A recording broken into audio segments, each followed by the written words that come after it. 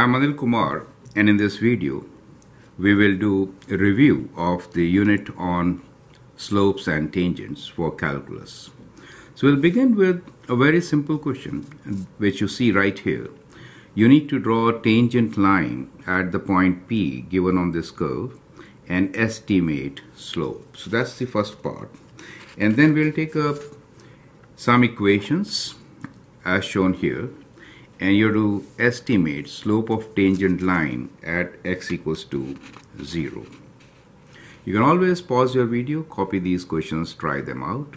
I'll provide their solutions in following videos. Uh, then we'll take up examples.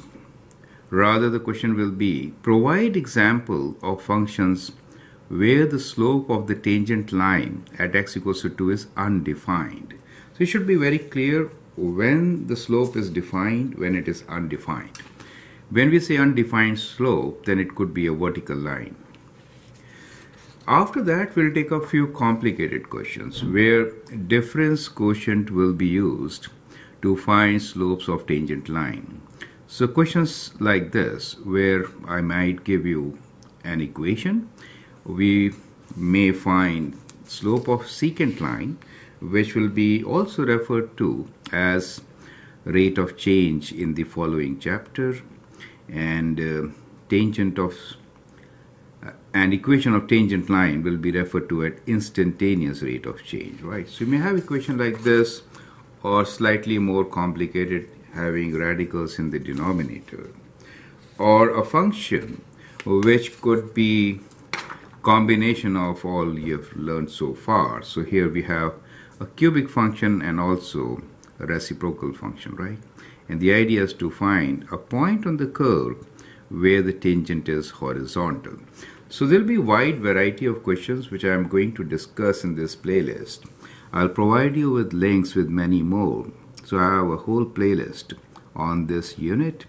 I'd like you to go through those videos to get the whole concept and then we'll have multiple choice test questions to practice. So let's begin uh, from the very first page, which was to find the the slope on a given graph. So I like you to copy these kinds of graphs, mark point P, draw a tangent line, and then calculate the slope or estimate the slope. Let us see how to do it.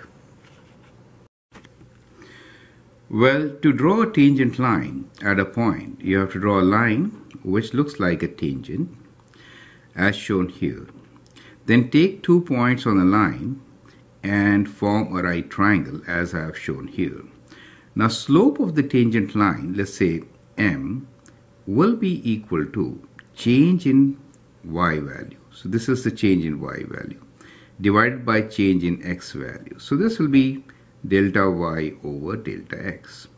So now let's estimate. So it seems as if it is two and a half times, right? So if you kind of scale it, so it may look as if this is, this is, uh, let me write, m is equals to 2.5. So that is my estimate for this particular line slope. Now let's look into the next curve.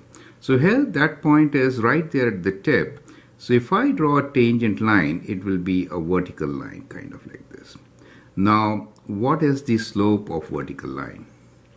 The slope of vertical line is undefined, right? So we have undefined slope.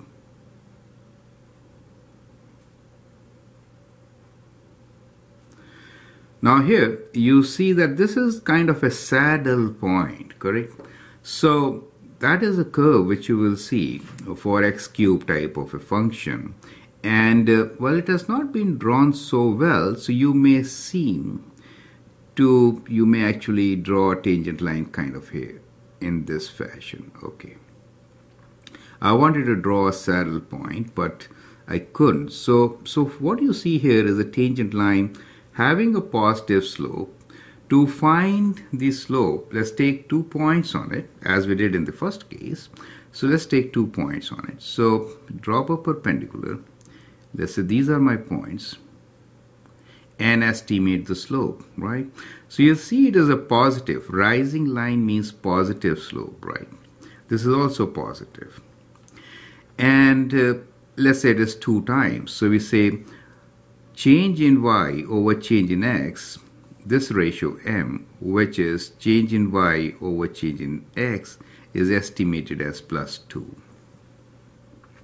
Now let's look into the third graph where if you draw a tangent line, it will be coming downwards, correct? So let's draw a line going through this point.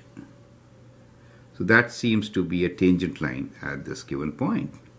As you see here, a tangent line may cross a curve at more than a point, right? Do you see that? And in this case, the tangent line goes through the curve. Okay, so let's draw a right triangle here once again. So let's use these points. Now since it is coming down, it has to be negative, correct? And the ratio seems to be, let's say this is one unit, then slightly more. So it could be, you can say slope here, m, is rise is greater than run. So let me call this as 1.25 but with a negative sign since it is dropping downwards, right? You can actually perform measurements to do it. Now in this particular case, at point P, what is the tangent? Is it kind of like this? If you consider that to be a tangent, the slope is zero, it's a horizontal line. However, you can draw many tangents here. That could be a tangent. This could be a tangent, right? Even this line seems to be a tangent and that line seems to be a tangent.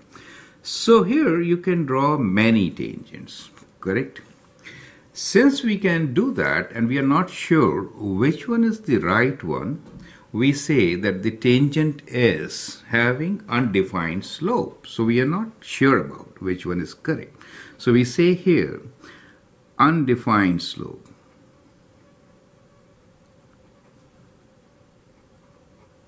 In fact, the tangent doesn't exist. We can say tangent line does not exist. Do you see that? Since it does not exist, there could be many, any one of those. We say it is not defined. So that's another interpretation of the same thing. Very important, correct? Absolute function is an example. Now in this particular case again, if you draw a tangent, then it is going to be a vertical line going through the curve, right? In this case, it is not going through the curve. So a vertical line has undefined tangent, right? So slope. So it is also undefined slope. Correct. So we found uh, in our examples, one of them was negative, and then these are positive. So every line which is rising will be treated as positive a vertical line will be treated as undefined slope and if you cannot draw any particular tangent, it does not exist and therefore the slope is undefined. Perfect. Now, if I would have selected a point P uh, somewhere here, in that case, we could have had a tangent horizontal and the slope of this horizontal would be zero, right? So horizontal line slope is zero. So with that, let's move on to the next set of examples. We need to estimate slope of tangent line at x equals to 0 for the following functions. So now you need slightly more information about the functions so that you could sketch and then perform the operation. So we'll try to sketch each one of these here. 0 means at the origin. So I'll just make small sketch concentrating more on the origin itself. Is it okay? Okay, that's it. So let's sketch x cubed. So this function is kind of flat here and then it rises. So that is called point of inflection as most of you know. X to the power 1 over 3, let's be very specific. It's like a kind of like this and then it is like this. Do you see that? So vertical slope which is undefined. 2 over 3, when x to the power 2 over 3, then it's a cusp kind of like this. That 2 makes everything positive. Sine x, sine x is a curve like this, correct? Well, let me extend it to this side also. Cosine x is, let me go like this. Starting with 1, maximum. Absolute function, perfect. Now, you can actually pause the video, answer, and then look into my solutions. So these are the tangent lines. Correct? The vertical line is the tangent line. Here, here it is undefined. There could be many. Perfect, at 0. That seems to be a tangent line. Here, a horizontal line is a tangent line. Here, again, it is undefined. Perfect. So our solution here is estimate slope of tangent line. So slope m is equals to 0 slope m is undefined. Here, because it is vertical line, is it okay? This is vertical line. Here, the slope is again undefined. Since there are many and we don't know which one to take care of. Now, slope here seems to be y equals to x kind of. So let me estimate this as 1 and here slope m is 0 since it is a horizontal line.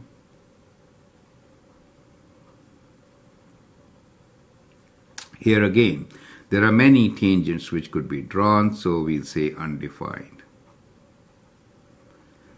So I hope that makes sense to you. Now, I think this concept of sketching tangents is not difficult at all. So treat this as your test question you need to provide examples of functions, functions, right? Where the slope of the tangent line at x equals to 2 is undefined. So, so let me just sketch here a few. You need to pause the video um, and answer this question. So at x equals to 2, we want undefined. So this is, let us say x equals to 2. So we want undefined at this point. So it could be a vertical line. Perfect. Uh, so if I want a vertical line here, my slope could be, I mean the function could be kind of like this.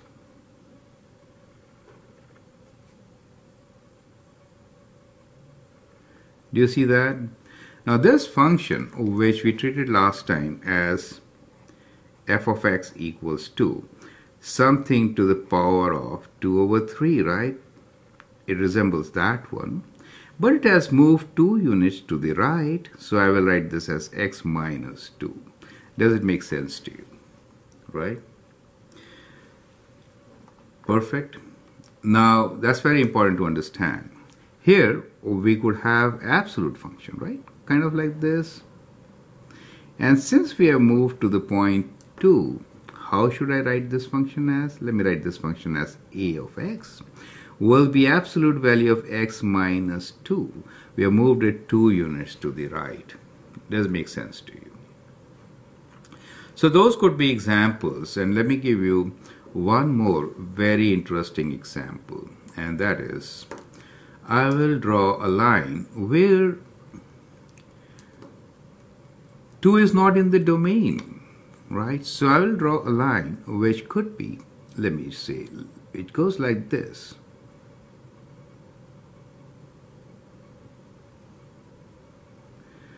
So, so in this case, we have a line which is, let me say, the function is y equals 2. Now, since we have a hole here at 2, I could write this function as x times x minus 2 divided by x minus 2. Doesn't make sense. So when this x minus 2, x minus 2 cancels, we get line which is y equals to x. So it has a restriction that x is not equal to 2.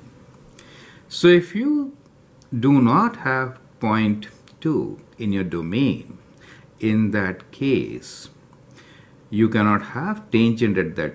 And so, so the slope of the tangent line is undefined, correct? So that could be one of the ways of looking into it. Now, I'd like you to give, based on what you've learned here, few more examples, right? So let me, from here, give you another rational function. Let's say r of x is equal to 1 over x minus 2. So if I give you that as a function, in that case, you know x is not equal to 2, and therefore we cannot draw a tangent line at 2 and its slope will be undefined. Do you get an idea, right?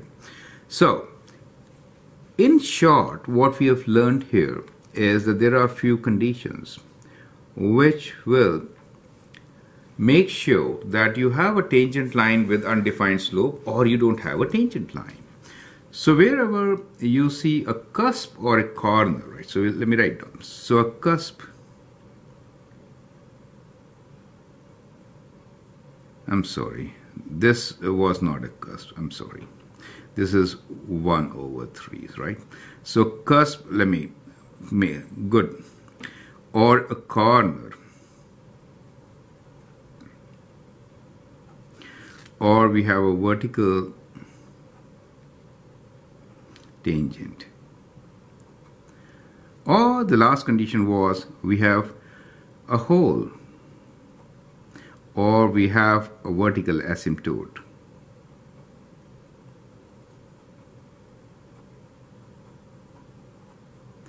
Okay, if I have to draw curve for, I made a mistake here. So this function is, is actually x minus 2 and this is a cube root function. 1 over 3 is it okay? Now if I have to make a cusp then the graph should have been uh, let me sketch at this point. So let's say we have a function c x and we want cusp at 2 that means to the power of 2 over 3 then be x minus 2 to the power of 2 over 3 and the curve will be kind of like this. Do you see that? Kind of like this. So that is the cusp. Do you see that? So that is how I'll be sketching a function. Now, since it's kind of a vertex, a pointed thing here, it means the tangent is not well defined, correct? As we saw in the previous examples, any one of these could be a tangent at this line, correct? So with that, we'll close this video. Then I'll provide you links with the others uh, to calculate the slope of a tangent line for different functions at given point or at many points, right? So I hope you get a clear idea about how to estimate slope of a tangent line from a function. Thanks for watching. Feel free to share your comments and views. If you like and subscribe, that'll be very good for me. Thank you and all the best.